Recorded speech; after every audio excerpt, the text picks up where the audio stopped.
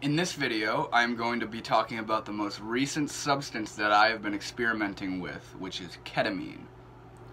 Now, within the past couple of weeks, I gained access to pure ketamine, and I took this as a sort of as a sort of stepping tool, a stepping stone to researching what ketamine is, because over the past couple of years, I've heard about it. I've heard about uh, the K-hole phenomenon, how it's popular in festival and rave culture.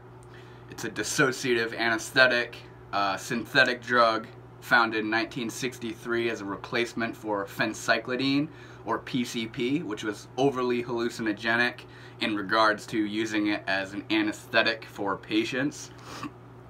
And I began just researching about what this compound was because now that I was able to gain access to it, I was considering trying it. I was considering adding it to my collection of psychonautic exploration tools.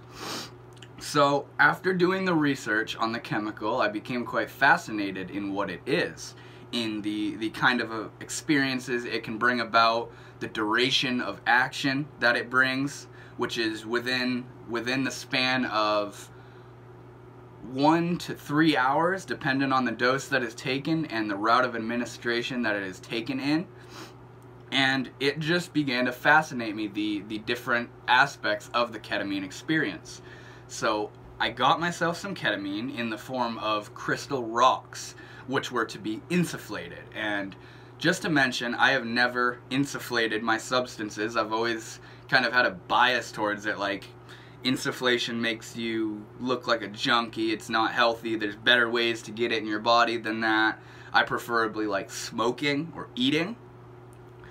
But after a while, I began to see this is how I get this substance in my body. It is the most bioavailable way of administering it next to intravenous injection, which I'm not gonna, I'm not fucking with needles. So I saw insufflation is the way to go. This is how I get it in my body to experience it. So I'm going to do it as such.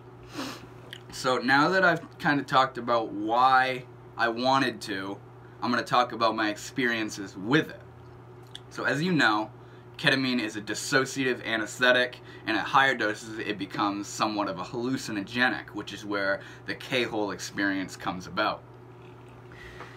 And I have always been interested in dissociatives. I've tried nitrous oxide and to be honest was quite underwhelmed and unsatisfied with the effects of it. It seemed to just be this disorienting feeling for a few moments that didn't really stand any ground in the sense of conscious travel. So I was really hoping that ketamine was a better representation of what I believe to be a dissociative, which is it disconnected you from your feelings and your thoughts and pulled you away from who you think you are and kind of just puts you in this void of experience. And just to say in the beginning, ketamine was very much more interesting and dead on with what I classify a dissociative as than nitrous was. So to get on to my experience experiments with it, I spent about a week using this substance where I would use it one night in a very small amount, wait a day, use it another night in a, in a larger amount. And through the first week I did this, I'd say three or four times until we reached about the weekend. And through that week, what I was experiencing off of these tiny little insufflations of the ketamine was a, a, a sensation very similar to that of a light alcohol buzz, where when you move your head around it and stop, it feels like things are still moving, or you stand up and the room just doesn't seem like it's in the right position. You're walking all kind of like lopsided and not very intense, but at those times I was going, okay, this is the onset, the threshold of the ketamine experience. Um, and I slowly worked my way into it more and more until the weekend, where I planned I was going to take a large amount and go quite deep descent into the ketamine realm. So I'm going to talk about how much I would generally take and then the experience that would come about almost every time from that dosage.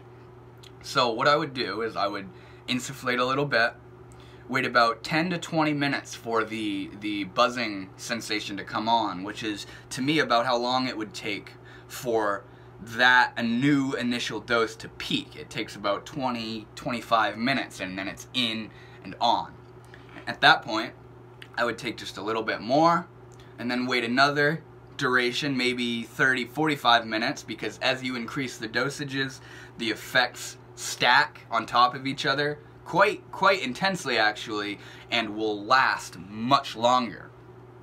So by the third insufflation is where I would usually be good in terms of intensity and what was going on. And that's what I want to try to talk about in this in this description right here is what that experience I was having was like. So, to begin, I want to first talk about the stare. The fucking stare that it brings about. So by this third insufflation, I'm hanging out with my brother, by the way. We're playing video games, shooting the shit, talking, listening to music. And at this point, three insufflations in, I am I am overcome with this just drone of of uh, a lack of focus on anything where I find myself staring for 5, 10, 15 minutes on end without moving a single muscle. I don't even know if I would be blinking, but I would just be staring and I would be thinking, but it was like I wasn't the one thinking. It was just going on and I'm like, "Oh, okay, okay, uh-huh." And I could direct my thoughts, but there was this feeling of a, a, a, lack of concern with what was going on, a lack of, like, I didn't want to express anything. I didn't want to try to think or try to say something or try to even do anything. I was just sitting there and everything is happening as it is. And it would just get very, very quiet, very simple. My brother's talking to me, I'm hearing him talk to me, and I hear what my mind says in return and I say it. I say it because that's how the conversation goes on, right? And it was just this very weird disconnection from I guess my ego, meaning the the one who expresses who I am. That does the things I do and says the things I say and thinks the way I think. It seemed like under the influence of this ketamine experience, the urge to express myself was muted and died away. And I remember me and my brother would get in a sort of tense conversation about something where I didn't understand what he was saying or he didn't understand me, one or the other, because he was tripping on LSD that night. And I felt this spike of of of kind of anxiety of oh shit, I don't know what I'm talking about I don't know how to go on with this conversation. And then I would be struck with the realization it doesn't matter. Why why are you why are you stressing about trying to express yourself? And that was really the beginning of me realizing that it kind of dulls that thing in you that urges to express who it is. And to me that was a very dissociative thing to not want to express yourself.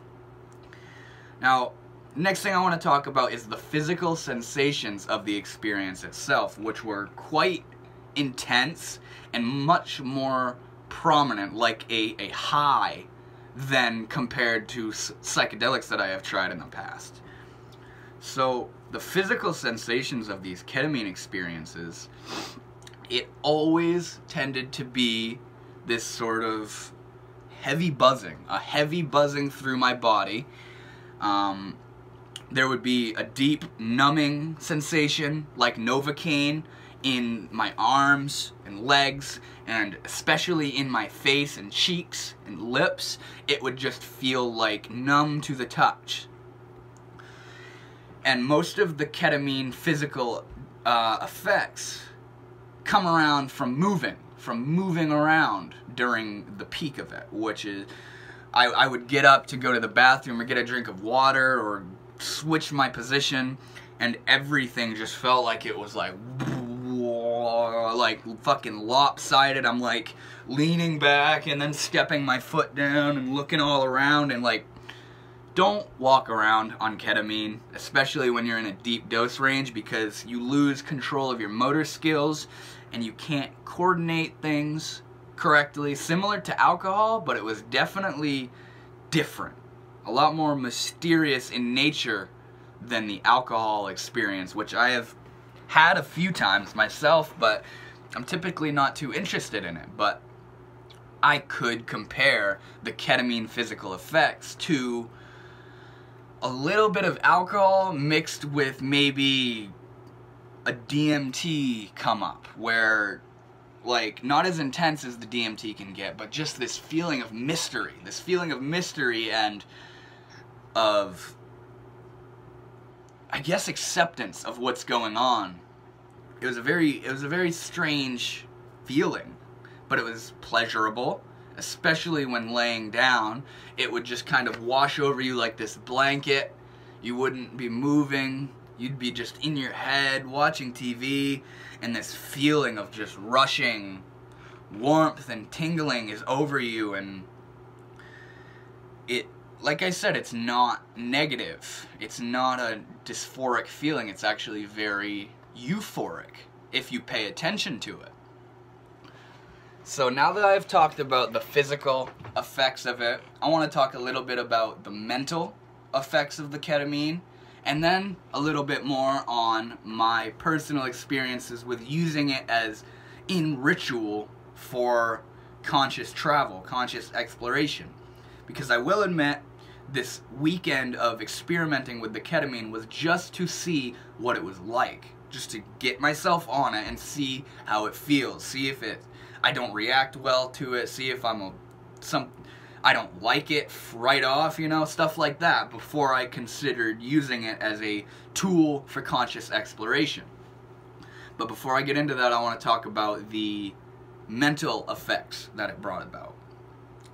So ketamine similar to the DMT experience, but nowhere near as intense, seems to leave your mind alone. It seems to leave your thought processes alone as the experience comes on.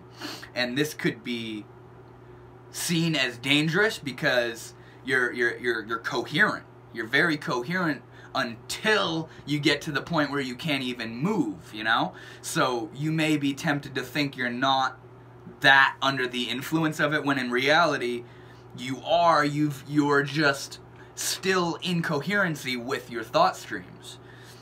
Now i didn't notice much disorientation of the thoughts but what i did notice is that ketamine shreds my concepts very similar to the way that cannabis does where if i take a high dose of cannabis and i'm watching tv or out in public or doing whatever I am, everything is fucking hilarious. Everything is fucking hilarious and deep and sad and stupid or whatever whatever theme it has, it is a massive exaggeration of that theme. And during those ketamine trips I was having, watching TV or playing video games, things were just fucking hilarious. The thoughts that were going through my head were just completely silly completely backwards from how I usually think. I'm thinking of these weird ass scenarios in my head and I'm laughing at them and not knowing how I thought of them and I found that also interesting in terms in in similarities to the psychedelics where it just begins putting in these thoughts and seeing how you react to them or not even really caring how you react to them. It's just sending in all this data. So it did have the ability to deteriorate my my thought streams and my concepts, and I found that quite interesting. But what I found most interesting about this ketamine overall is when I took it in a high dose while meditating. That was quite the experience. So what happened when I did that is I insufflated a little bit and I waited about 20 minutes for it to come on and then I insufflated a little bit more, a larger amount, and then sat down in lotus. And I began to follow the breath and focus on my breath because that is my my my form of meditation. So I began doing that, focusing on my breath and going with the breath and I was feeling the physical effects of the ketamine coming on and it would pull my awareness away from the breath, but I would go back to it. and at one point, it got to the point where I forgot why I was watching the breath. The breath is still there, up, down, up, down, but there is no context to why I am watching this breath or, or if I'm even watching it. And then this thought comes rolling back in pay attention to the breath. And I think, I am. Well, where just was I in my head? In this experience of, of chosen focus but a, a, a, loss of unconscious focus, I guess is the best way to put it, started coming over me where I'm focusing on my breath, but I'm not choosing to anymore. And it's just I'm watching it in, out, in, out. And there's not really a watch it, keep on it, keep on it, like there kind of is during typical meditation. It was just more, here's my breath, look what it's doing. And it became a focal point.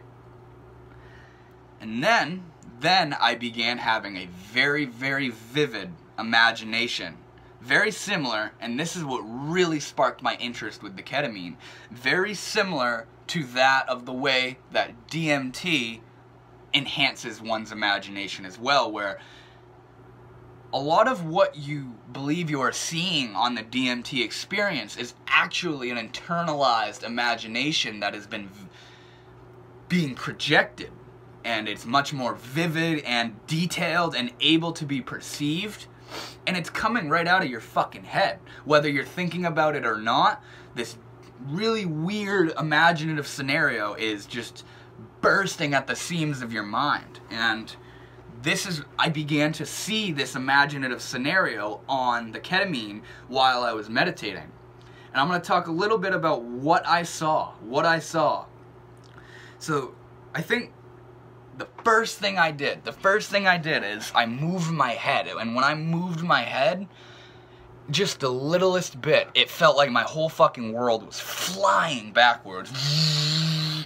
And it wasn't negative, it wasn't nauseating, but it, it was very intense. Like, holy shit, I am moving right now. And I open my eyes and I'm looking at my altar in front of me, which is where I sit when I meditate. And I'm I have the stare going where I'm just staring, not not controlling the thoughts or anything else. And it appears that everything in my vision, all the objects on my table, are moving together and then resetting. And then moving apart and then resetting. And I couldn't really pick up on the ways that they were moving, but I knew they're moving right now, and this is in a very mechanical like way where it would be whoop, whoop, whoop, weird like movements of the objects that I'm seeing. So once I realized that shit, I'm having visuals on this shit right now, which I knew usually doesn't come until the deeper dose ranges, I shut my eyes because I wanted to see if there was any sort of closed eye hallucinations. And very quickly I begin seeing lights, these moving lights. And the best way I could describe it is these two lines shot across my vision like this. And then all of a sudden I see this thing that it looks like a heartbeat monitor, but it's going a lot faster and it races across that line and I see it like jitter across the line and slowly fade into the distance. And then what I see is this huge transformer robot like fucking guy that was personified to be a guy and he was taking his fist and punching this huge brick wall. And when he punched the brick wall, I came flying out of the other side, holding on to these monkey bar like things that were whipping around in circles. And I fell off this cliff and I could no longer see myself anymore. And I, I think I think that's all of what I of really what I can recall of seeing in that deep meditative ketamine trance. But it fucking sparked my interest for sure. It was very interesting. When I when I try a new substance, I'm not interested in things I call feel gooders, the the uppers, the downers, like what kind of even names are those, you know? I'm I'm interested in the things that tweak my imagination, that that perplex me with concepts, that that anticipate new perspectives and change the way you feel and gives you a space to work on yourself and the world and what you make of it while on that substance. Psychedelics nail that definition. De- nitrous oxide, not really, not really. It was so short and underwhelming. It didn't really serve any any benefits in that in that regard to me. Ketamine, I do need some more time to work with it, but I see ben- I see benefit in this. I see potential is the word I was looking for. I see potential in using ketamine to enter a space of self-reflection and an alteration of one's perspectives and thoughts and and the way you feel about things. And like I said, I still have a lot to work on with ketamine before I really go, yeah, that's a good one. But it was very interesting. It was a very interesting substance. I think I've talked about most of what I have collected off of this substance, and I hope you got something out of it, and I will be back with more, so thank you for watching.